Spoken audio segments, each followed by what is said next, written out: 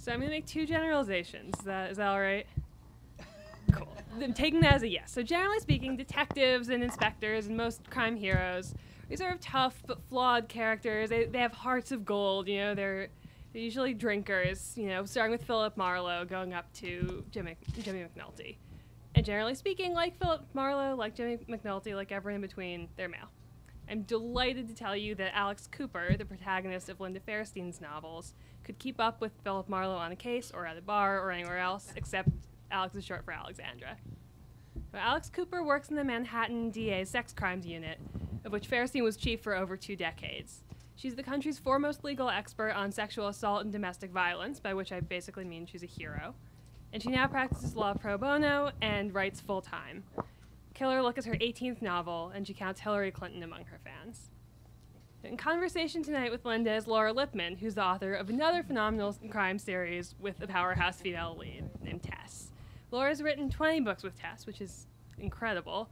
Her most recent novel is not even one of those. It's a standalone thriller, Wild Lake. So we're so excited to have them both here tonight. Please join us to welcome them.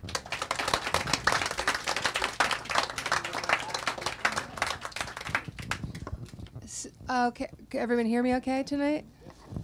So I know that these things are planned so far in advance, but when did you sort of look at your schedule and think, I'm going to be in Washington, D.C.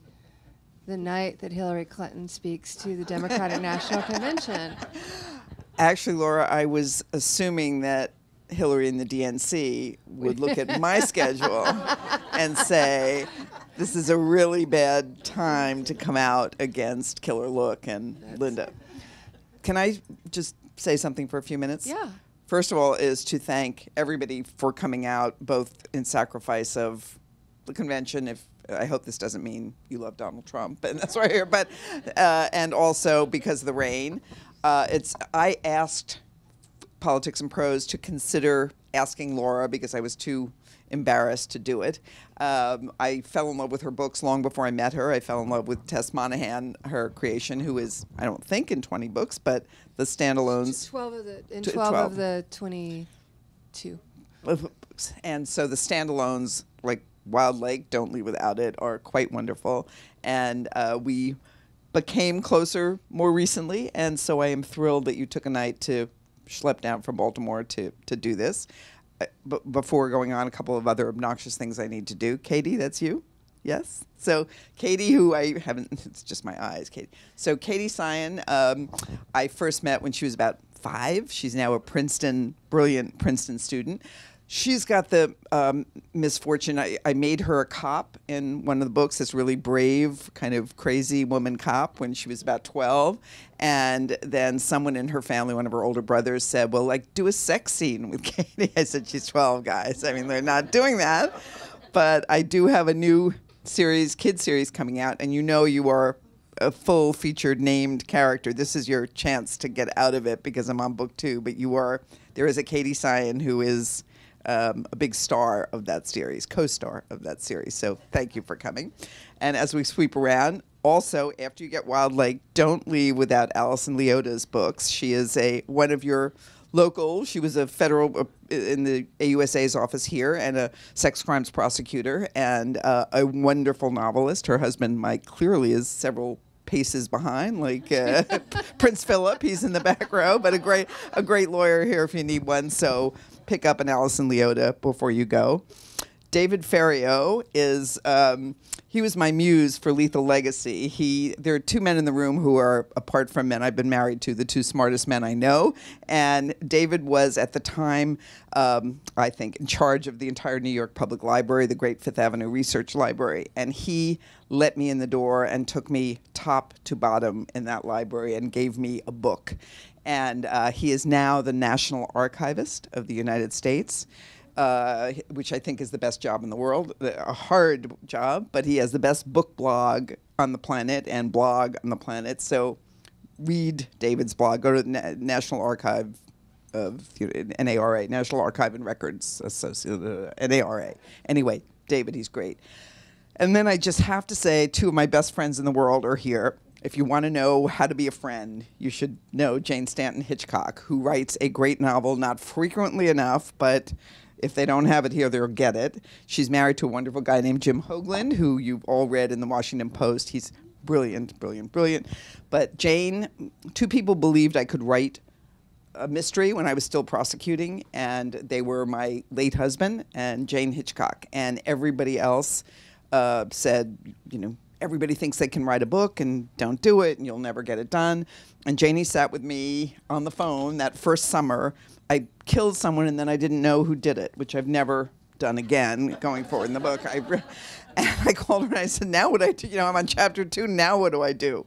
And she talked me through how to write a book. She is a character in all of the Alex Cooper novels. She's Alex Cooper's best friend. I say that because she has more best friends than you can count. So she has 18 other people who would say the same thing of her. Um, great style. It's there. There's a scene involving um, a, a, woman, rich woman's pearls in Killer Look. It's not a spoiler. It's Jane's late mother, who I brought back to life to borrow her pearls because she had she didn't leave them to me they were nice. so, in any event, um, I'm so happy all of you people I don't know are here, but uh, I have to acknowledge very special people who are here. So sorry, Laura. That was okay. so nice. So that was one of the loveliest beginnings I've ever seen in a book event. And I want to go back and because you, you said something that I wanted to touch on, and I'm. I, I went back and read the New York Times magazine profile of you from 1990, I believe, and it at the time, it said that your husband, uh, Justin, wanted you to write suspense novels, and this was six years before your first novel, Double Jeopardy, appeared. And I was wondering, what had he picked up on that made him so sure that this is what you should be doing? The journalist in her had her go back and do more research than anybody who would ever be in conversation. Uh, all of my young life, if you could find the yearbooks uh, that I hope you can't, uh, it would say, What do you want to be? And I would say, Writer. I always wanted to write, and I wanted to write in this genre. Um, my father, who was very loving and very supportive, used to roll his eyes and say, You have nothing to write about. Get a job, get a career. Uh, we, we, he was right. I didn't have anything to write about at the time, and I went to law school because I wanted to do public service, and that's what steered me there. But um, two people to whom I whined incessantly, and that was really the word, were Katie's aunt, Esther Newberg, who is the world's oh. greatest literary agent, but was my friend long before, and Justin's friend long before she was my agent.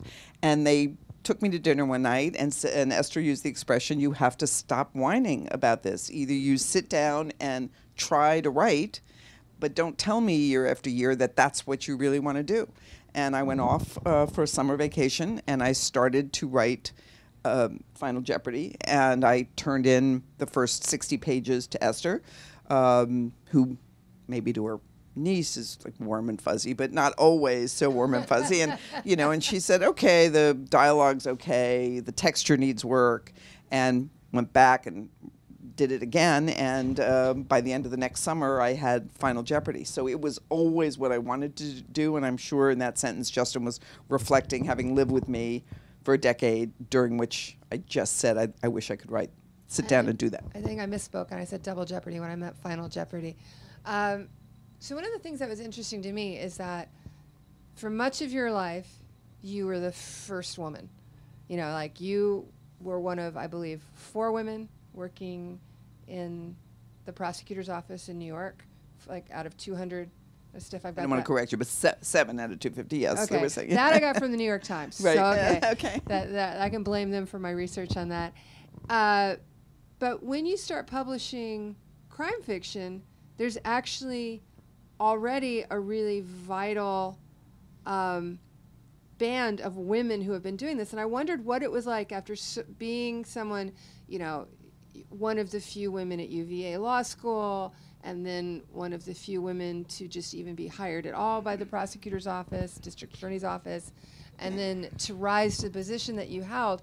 I wondered what it was like to be in a field where there were other women who had been the doorbusters, right. you know, and, and, and how that compared to your, your professional experience up to then. It's so great to be asked a question I've never been asked before. and really, that's a really good question. Uh, so it was those women I wanted to emulate. It was those women I envied because they were doing books and and they were people I went to read. And it's sort of like every profession. There were people in the law. There were a handful of women who reached out their hand to me and welcomed me into the sandbox. And there were other women who wanted no part of you, even though you were, you know, a part of the sisterhood. So I remember Mary Higgins Clark, who really is the queen in many ways, and it's just one of the of our profession, and just one of the loveliest, classiest women on the planet. And she called me and said, "Let's have lunch," and uh, and just gave me a little bit about what to expect, and and so there were Mary and other people like that, uh, and they were the people I wanted to hang out with and and do.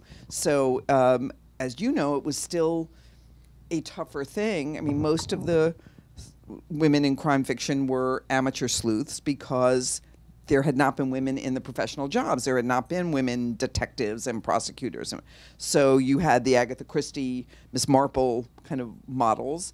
Um, and then I credit, bless you, like Sara Paretsky in the 80s with having V.I. Warshawski and Sara, and you will know who else because I can't remember, uh, were among the women who started Sisters in Crime for exactly the reason that uh, women were being paid less in publishing, reviewed less than less often than male counterparts. So there was that same little movement within. Um, and when I started in '96, there were just a handful of women what I wanted to write was a strong protagonist in a non-traditional job, but in a prof- I was writing, I hoped, procedurals uh, to show how the work is done, just from a woman protagonist point of view. I I think the only woman doing an American lawyer, Lisa Scottoline, would have also just start, started publishing in the 90s, right? Yes, she's she's much younger than I am, but as much as I love the practice of law, Lisa, a Penn graduate, brilliant, hated it. and really did not want to be a lawyer and and started writing books and she was a paperback original Right. who with great success like you Edgar's early and and uh, so she was one of the women I looked up to even though she's a kid um, And she wasn't that far ahead of you. She's only like a couple of a couple of years, just but that couple made a years, yeah. difference, you know, at that time to see somebody with the finished product who did it and was out there and continuing to do better and wrote a series and then standalones like you. I envy the standalone thing because I think that's the hardest thing to do to go from a series where your world is populated by people who live in your head all the time and you know them and you see them in every circumstance to having to to create a book with entirely new people. So um, yes, so she's done both, like you. But at some point over the course of the Alex book, and are there 16 or 18? This is the eight, uh, This is, this is the 18th. It also became evident that in addition to just writing a good series about a strong, compassionate female who with a tough job, that you had you had set your sights on something even bigger, which is you have now, if you look at that 18, those 18 books as a body of work, your subject is no less than sort of a history of New York, institution by institution, neighborhood by neighborhood. Was that idea always in the back of your mind, or was that something you sort of figured out along the way? Good question again. Uh, I picked well, didn't I? so, um, so I, I didn't have that idea for, for Final Jeopardy for the first book. Um, I had an idea that involved, after Jane told me who the killer should be, a motive from a really unusual case that um, it's not the story of that case, but a very unusual uh, suspect in a case. And the second book, uh, Likely to Die, is set in Bellevue Hospital, where I had had a, a very tragic murder of a young doctor working late at night by a homeless man living in the hospital. I did not take that story, but I took the idea of a, a New York City institution where the daily population is more than 15,000 people walking in and out, larger than most towns and villages in the country, walking in and out of the doors of that institution every day. And from that point on, it was just, I, I chose to make New York City sort of a character in the books. And I would set out to pick an institution. And so, for example, in Lethal Legacy, when I I'd set my sights three or four books before that on the Great New York Public Library. Um, I didn't know how to get in, and I no more thought that the library was going to let me in to kill somebody and uh, do other dastardly things in this in what I think is the most wonderful institution in New York City, uh, and it just became sort of my own branding to to do. And to David's credit, I remember well, you went everywhere with me. I mean, I would say just set me up with a kid who's an intern, and David said, "Well, actually, I've never been on the roof myself." and we went out and walked on the roof of the library. We went down to the stacks, which was eight miles underground of stacks that go forever. And we we did everything together. But I just love unlayering it. And the last long part of that is in 1980, when I was a young prosecutor. Um, there was a murder at the Metropolitan Opera House, and uh, it was a horrible story. A young violinist was played in the first act. She went backstage between acts to try and meet the guest conductor, who was from Berlin. Uh, she got lost and asked for directions. She was never seen again. And literally, the violinist behind her just moved up when the second act started, took her violin, stowed it, and of course, it's the most elegant, it's the cultural center of New York. So nobody thought anything had happened to her. I guess they thought she had taken too long a break in the restroom. So they just went on, and nobody looked for her when it was over. And her husband at two in the morning called. Um, couldn't get any answer from anyone at the opera house pre cell phone days called the police and the police can't take a missing persons report when there have been no threats no reason to think foul play for 48 hours so nobody even looked for helen except for her husband and four days later her body was found in the air shaft of the opera house she had been intercepted and attacked and killed when she resisted by a stagehand. And it always seemed to me 4,000 people were in their seats and nobody could hear her because of the fact that in new theaters there's all the soundproofing uh, backstage. So nobody heard her scream, nobody heard her struggle. And to, to me, and I think to prosecutors and police, you look at the city in such a different way. You, as a journalist, do mm-hmm. did in Baltimore. You see it in such a different way, going to crime scenes, talking to witnesses, than a tourist does, than a resident does. And so that's sort of what I wanted to do in picking each location. It looks so refined, it looks elegant from the outside, but there's some kind of dark underbelly almost everywhere. I'm kind of surprised that with um, Killer Look, it took you this long to get to fashion.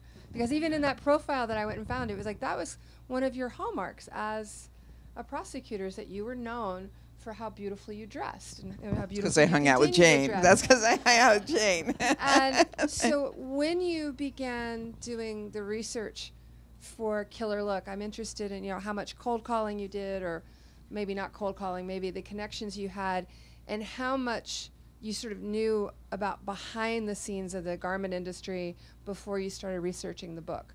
Full of like, had you ever questions. been to a fashion show? Had you? I've been to a couple of fashion shows, but never, never the big, tented, important shows. Never the Anna Wintour kind of thing. Um, I'd put off the garment district, and it literally, if you don't know, it's it's a one square mile piece of New York City, south of 42nd Street, 7th Avenue, uh, and really became the, the center of manufacturing for America after the invention 150 years ago of the sewing machine and mass production. And my editor, we're not really being videoed, so Ben will never know that that he really didn't want me to go there because he said, you know, you're very lucky for a woman crime novelist to have a lot of male readers. And if you just say you're going to do a book about fashion and style and you kill a runway model, um, you may not get your guys coming back. So I thought my guys are better than that. But um, uh, so I started looking at it a whole new way, which was to kill a man instead of a runway model, and to do the business end, to get into the business side of the fashion business, uh, which is without a spoiler, he's already dead when the when the book begins. So that's what I did, and and what drove me to it sooner rather than putting it continuing to put it off is that, as you've all read about the outsourcing of manufacturing in this country, the physical district is shrinking, shrinking, shrinking. So um, there's a danger that there's not going to be much more than a historic area called the garment district. Yeah, that I mean, you know, Baltimore is the home to Under Armour, and they're, they're, but they're not a stitch of Under Armour clothing has ever been produced in Baltimore. I don't, I don't know what they actually do there. I was like, well, they're over the place. So okay, so. Yeah, Yeah. tell me about it. But they still needed half a billion dollars from the city to pay for their infrastructure. We won't go there. Um, We can. So tell me, um, like for example, is that that button store real? So The tender button store, buttons, tender yes. buttons? So I was looking for places outside the garment district to go to because I needed to expand this shrinking area. And uh, one of the places is a shop in the East 60s called Tender Buttons. It was started by two women 40 years ago, and it's a narrow brownstone sized storefront, uh, floor to ceiling, ceilings higher than this, that are just boxes of buttons. They're antiques. There are new ones. I mean, they're not most. They're not the little plastic buttons that adorn my clothing, but uh, they have twenty-seven thousand kinds of men men's gold toned or gold blazer buttons. They have.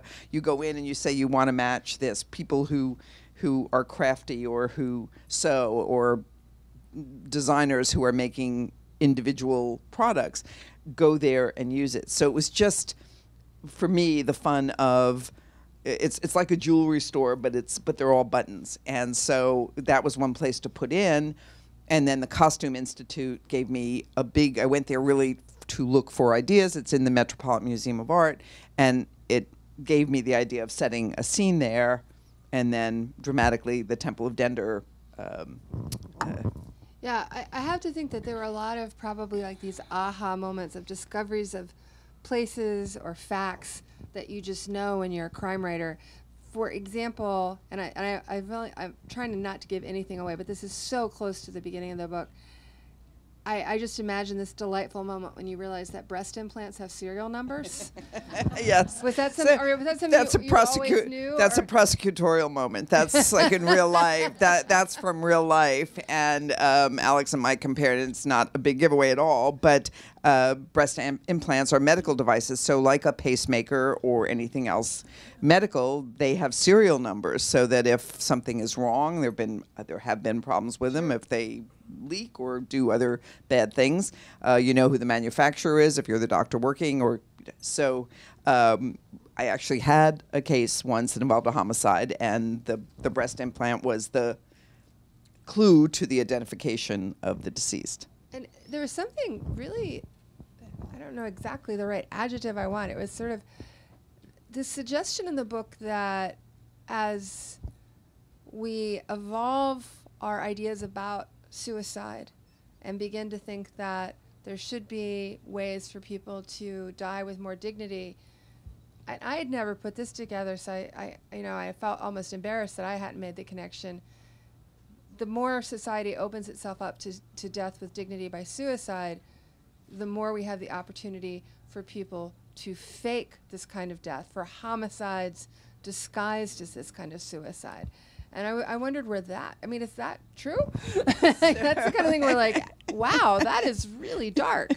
that is dark. So a little bit of research. I do. I'm. I do notorious clip. I'm a paper hoarder, so I read newspapers all the time and magazines, and I clip articles and I fill notebooks with plastic sleeves, and they're usually about the the world I'm going to, the location. So I've been clipping business, fashion related pieces, the whole Middle Eastern dress issues that I talk about in the in the book, and outsourcing and. Uh, Oh yeah, that was fa- fascinating. That I mean, I kind and I wasn't. I sort of had heard hints of this, but the information about the amazing consumer opportunity that it that are you know Middle Eastern Muslim women who we don't even think about what are they wearing underneath. yes, yeah. yes. And it's like yeah, Two hundred fifty-four B as in billion dollars of glitz under the abayas and hijabs a year. So uh, that was a business piece that that interest, interested me a lot. So I start with the clippings, and then uh, there's a woman named Fern Mallis who has been uh, an acquaintance friend of mine for 25 years. She is the person credited with starting Modern Day Fashion Week and running the Council of Fashion Designers of America. So, what's the easiest research? Talk to Jane on the phone. I called Fern and I said, uh, "Can I take you to lunch? I'd love some insights." You know, and we got to lunch, and before the, my moleskin was filled before the salad hit the table. I mean, we just started talking about. I said, "Would people? Are there reasons to kill in this business?" And she said, "You know, uh, yes, there are, uh, and it's very cutthroat between um, between and among the business executives." So that got me started in fashion.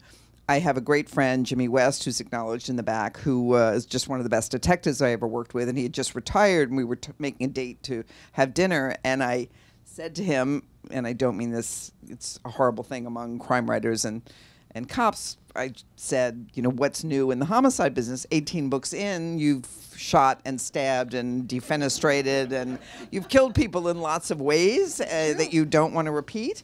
And I said, sort of anything new. and Jimmy said, do you know about these um, assisted suicide methods? And the newest ones um, are in many of the particularly Scandinavian countries where assisted suicide is, is legal, these cases have been studied and actually videotaped to see because the the um, the gases can be are, are a very painless way. They they take effect in like ten seconds as opposed to people struggling in other ways that I won't discuss here, but you read about. So he said, I actually think it could be the perfect murder. So that two ding, minute ding, ding, ding, ding, Thank you, Jimmy. West. Okay, so that was um, I didn't know anything about it. Began to read. Uh, there's not that much here, but tons in Scandinavia. You know, in, in English, but Scandinavian medical journals, and that's what gave me that device. Another thing that's very interesting about Killer Look is that I think it's fair to say that this is Alex at her most vulnerable. You know, you've had she she is still recovering from an abduction in the most recent book. Um, on page one, it's sort of there that maybe she's drinking a little bit too much. She's got a lot of PTSD going on, and I wondered about, you know, I think it was great, obviously, that you decided. I mean, I I don't like people moving from book to book as if nothing's happened to their characters. You know, they would be suffering, but I thought it was. I wonder what it was like for you to write about her in such a vulnerable, shaken state when she's been so strong over so many books. Uh, thank you, because I'd love to talk about that. It, it was, um, I think Lily gave us that generous introduction and, and said, you know, Alex has no flaws. And I have to say, very short sighted, when I set out to write Alex, I really, I mean, in part because she's so reflected, not me personally, but my professional uh, instincts and passions.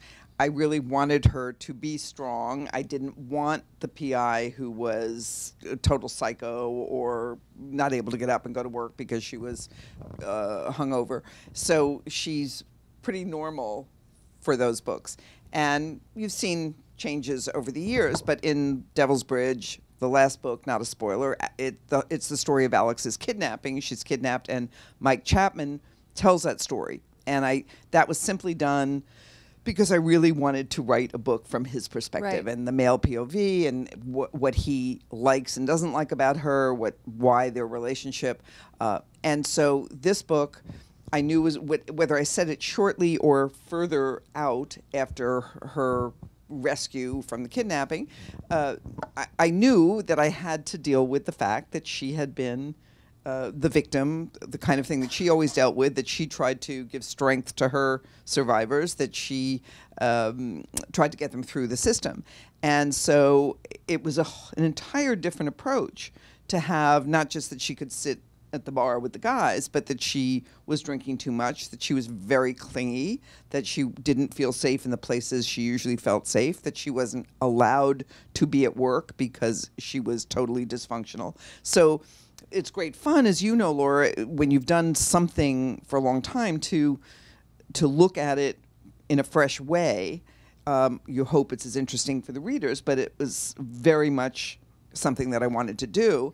Um, there's a trade review. You know, the, the journals that review are Publishers Weekly and a Library Journal. Um, there's something called Kirkus, which they're anonymous and they're generally, in my humble experience, the there tend to be the nastiest reviews under the They're, sun. they're kind of the bad fairy. I mean, they've actually been fairly generous to me, but they can really be like kind of like the bad fairy that comes to the christening. Right. It's like, you know, oh, that's nice. Oh, that's nice. Let me put a curse on you. right. That's the one that showed up. So the first review out of the box, which you kind of want to be nice, and the public doesn't see most of it, but it goes, you know, you get the call from your editor, and it, you want it to be, oh, it's great. The first one was, who is this Alex Cooper? I mean, she just, it, and it criticized all the vulnerability and it, i'm sitting at home pouring a drink going you know wait a minute this is three weeks after she's been five days kidnapped a, a victim and if, if you think she's going to be back at her desk just but yeah moving forward so um, the, the the reaction of intelligent people like you has been much kinder than than Kirkus. But I I set out to do it, and so I made it much closer in time. I could have started the book, as you know, six months Sure. out, but I really wanted to show the fragility as a result of the experience. No, and you know, I I'm very interested in PTSD, and I've only, in doing the research I did for my last book, really only began to learn stuff that you've you have long known about how victims, especially when they have something that that would ins- um, invoke PTSD, that's not the right word. They're not going to behave in a consistent, logical way. I, have you read Missoula by Jon Krakauer? Okay. That's a book that makes it so clear that this expectation that we have of women who have been sexually victimized, traumatized, assaulted, that they're going to just sit up and do all the right things in the right order Cry at the right the time. If they don't you know, cry, like- it- yep, uh, yeah. absolutely. And I, I, you know, it's just sort of. So I'm really glad you made that choice. What was the thing that, if you can do it without spoiling, what was like the biggest surprise for you in writing Killer Look? It doesn't necessarily have to be like part of the, the murder story itself, but like just a moment where you're like, if you can tell us, I did not. Do you have those moments? I did not see that coming moment. Uh, oh yes, I mean, I, I I start out. I always set my world. I have my victim because of my experience with book one. The next thing I do is decide before I start writing who the killer is and what the motive was, because crime readers are intelligent, as you know, and they like trying to puzzle things out and they don't mind being wrong but they like finding the red herrings and so i think there has to be a lot of logic to it and then in between there are twists and turns or sometimes as you know you create a character and you either dislike that character more than more than you thought so you write that character out of the story more or you want to see more of that character than you imagined at the beginning and you you expand the role for that character so um, uh, there are yes there are always things to me that i didn't see coming um, until I got them there. I, I knew that I was ending the book at the Temple of Dendur, and I didn't have any idea how. I important for those of you who read this genre, for the character not to do something stupid. So you which know, gets to be more and more of a challenge in a long running series. yes, Like- very hard. But it's kind of a fun challenge because it's fun to make the smart person get the smart person in the bad spot. Yes, of course. Yes, it is.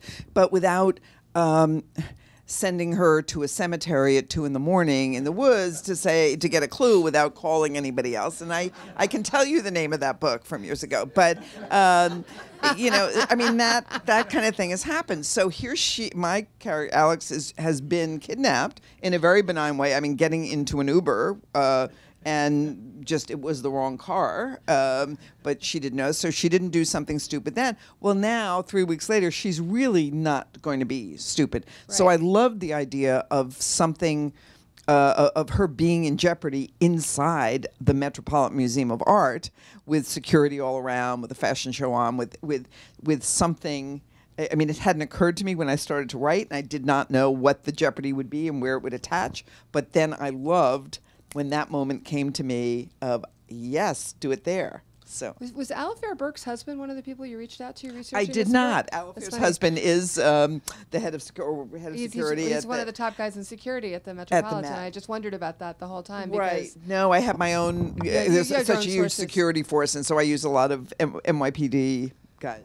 So you're have you already finished the next book or you're working on it? Uh, sorry, me neither. But I th- oh no, I'm, No, no, no. I have a title, and I know it's easy because this book, uh, I resolve the the case that is the substance of this book, and then there's sort of a dramatic, I think, event that happens, and so this is probably the first time I know exactly where and when the next book starts, and so I know the beginnings of it. But and, and uh, tell us the next New York institution and/or slash neighborhood Okay. that you will be exploring and examining. Okay, the book is called Deadfall, and the next um, it, the, the research so far has all been a couple of fabulous days at the Bronx Zoo, and it has to do with animals and the 2,500 acres uh, that are.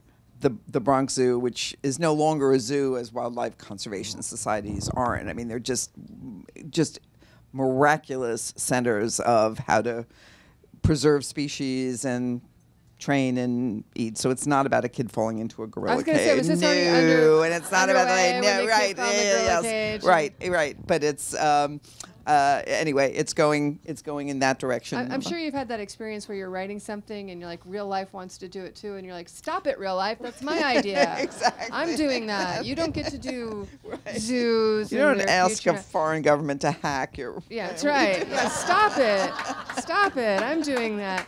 And I wonder, I mean, in, in journalism, we would call them like tickler files, this place where you like kept your ideas for a slow day.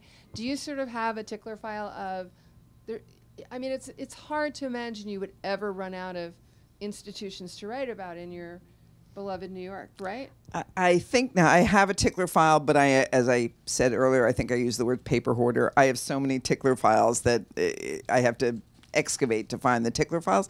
And someone asked that at my first event two nights ago.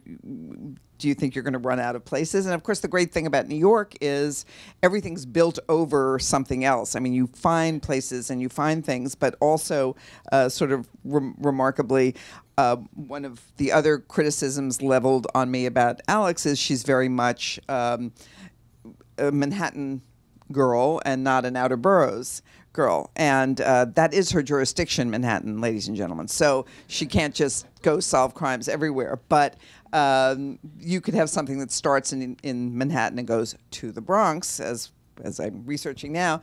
But um, so so far it's really pretty good and someone came up to me tuesday night at my first event when that question was raised by a, a audience member and uh, this woman said to me do you know about this new park that's been created on staten island and it's again it's like 3,000 acres, and there are coyotes and birds and things that haven't existed before. And there will be a body there before too long, I can tell you. know, she needs to go to Staten Island. The girl's never been there. So uh, I, I, I have a notebook full of obscure places, and not all of them will make it into a book or be worlds. But I think, I think I'm good for the next few books. I've been given the high sign on time. Before I turn it over to the audience, is there is there a question you were longing to answer that I wasn't smart enough to ask? Uh, w- when's your next book, and what's that about? it's the least I I. I won't have a book out again until February of 2018. Yeah, I'm gonna. Because you have a real life. And No, no, a just because I think it's more like that weird publishing scheduling thing. They want to move me back to February. I couldn't write it fast enough to get it out for February 2017. So I get the biggest break I've ever had. And um, so, and it even has a title which I've never had before, Pink Pink Lady. Oh, good. Pink. Lady. So anyway, Great. Lady is the new girl. That's right. so now we can take a few audience questions. I think. There are mics to walk up to if you can, so it- it ends can up hear on you. the video. Oh. This is such a treat, actually, with both of you. It's an embarrassment of riches. Oh, thank you. Um, and my favorite backstage research of yours was the Metropolitan Museum when you told me there were like a million things there that may never see the light of day. Two quick questions. One, um, your district attorney is patterned after Fictional. a certain sort of.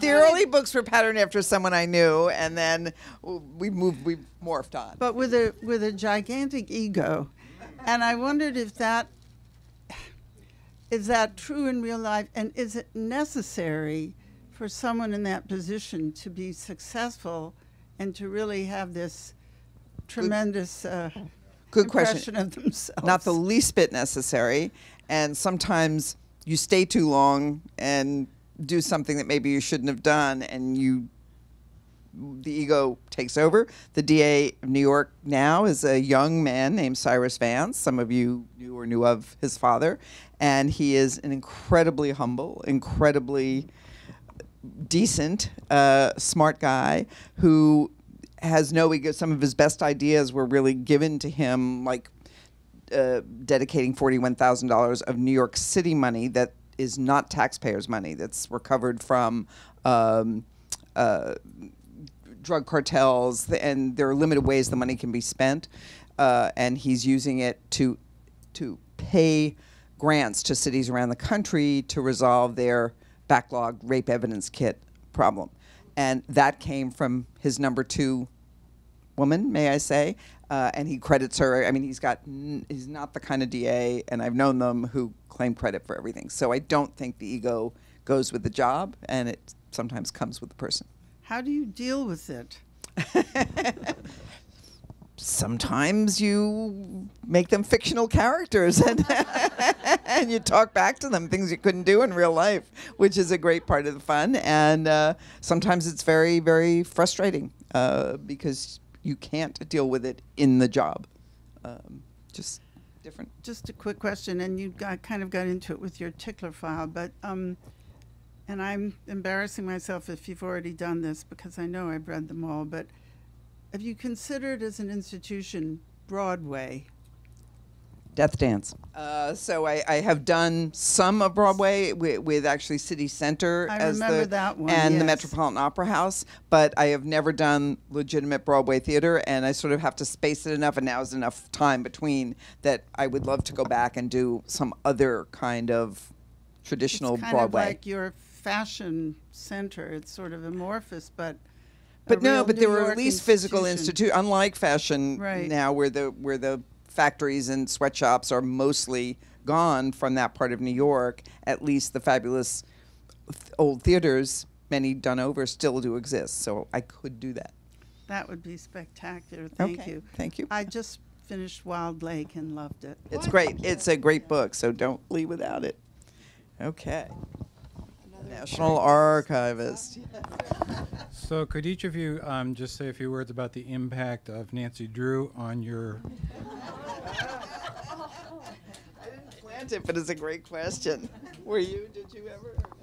Nancy is not my favorite. As a matter of fact, I got in a lot of trouble because one year, the New York Times, probably like this is like going back 15, 16 years, there was a, another television adaptation of Nancy Drew, and it happened to have the hallmarks of the things I particularly dislike about Nancy Drew.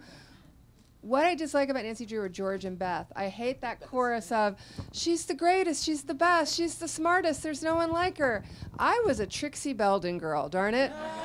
She was much more, and I loved Encyclopedia Brown. I read Nancy Drew, and Nancy Drew is great and important. And Mildred Wirt Benson was an amazing pioneer, but because you know that, that there is no Carolyn Keene yeah, who is credited. but so she was the first, Mildred- and so she's important, but she's not that important to me. She's not.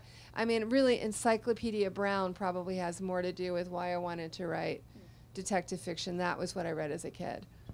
So my friend David probably asked that question because the next book that I have coming November 15th is called Into the Lion's Den and it's my homage to the Nancy Drew series because I think Nancy Drew gave me both careers, uh, the sleuthing and the, the love for books. When I was an adolescent, i- she was the one, my brother had Hardy Boys and uh, and then I found there was a girl doing the same thing. So I have a 12 year old kid sleuth. Um, the research that I did for Lethal Legacy at the library. Uh, this book begins with um, Devlin Quick, is her name, with uh, with her best friend witnessing a um, the theft of a of a what she thinks is a rare map from the library, and I'm running out, and Devlin gives chase.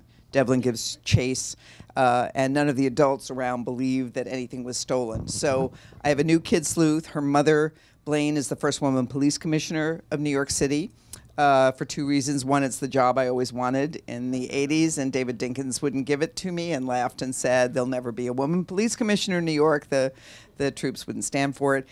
And secondly, because it lets the kid have access to DNA labs and subpoenas and facial recognition software. And so um, it, it uh, debuts November 15th and uh, set in the New York Public Library in large part and meant to be uh, just fun. It's middle grade. It's eight to twelve year olds, That- and I hope Georgia Rae will read it. She will have we a have gift. a copy. Sarah Wyman gave me an advance copy just Tuesday night, so I have it ready to go. Okay, there you go.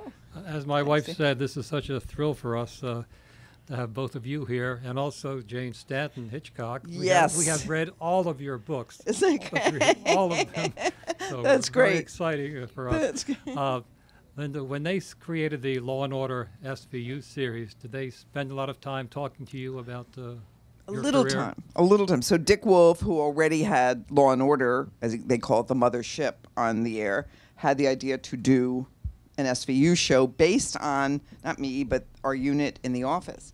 And of course, if I had ever thought for a minute that that subject was ready to be prime time television 16, 17 years ago, I would have called Laura's fabulous husband, David Simon, and said, you know, why don't we talk about a show? But I never, I didn't have the foresight to think that that would work on television. So Dick Wolf called me after he created the series and hired the actors, and Stephanie March was the first um prosecutor, and he named her Alex Cabot, AC, for Alex Cooper.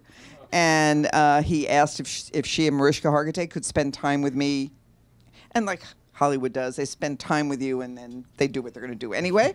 I got no money, not a nickel, nothing from it. Uh, So the the ladies are pals of mine, and uh, Dick Wolf promised me a cameo, and now I probably could be somebody's grandmother in the show. I'm somebody's grandmother in real life. Why not? But The and irony anyway, I never my, got my. my household does get money because there was some clause that if Richard, if there were any spin-off characters from Homicide, and so Richard Belzer went from Homicide to, so we get what we call munch money. Like, oh, munch money. oh, that's great. that's really that's very funny. Okay. Mike.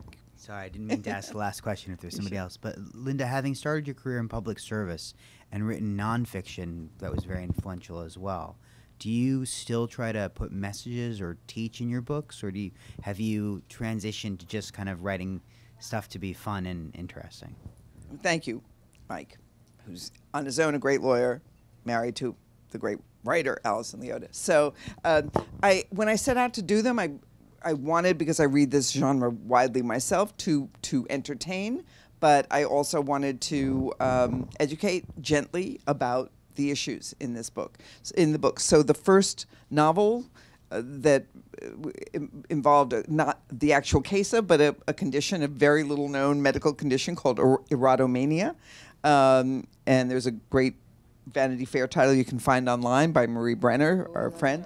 Okay, well, that was based on one of my cases, and uh, everybody else had the good sense to write about it except me. So I, I've used like real motives and uh, and of course the real techniques and uh, victim survivor reactions, how the police work these cases, how what we did in New York I think was so unique about working with the detectives from from the outset. They had to call us when uh, sex crimes happened and work with us, so we didn't after the fact uh, just wind up with a botched investigation if it wasn't do- done right. So without, I think, trying to be too heavy-handed, uh, they're, they're they're meant to be uh, educational, informative things about how the system does or should work in these cases. Thank you. And thank everyone for coming out Thank you. on a wet summer night to see a great presentation. Thank you.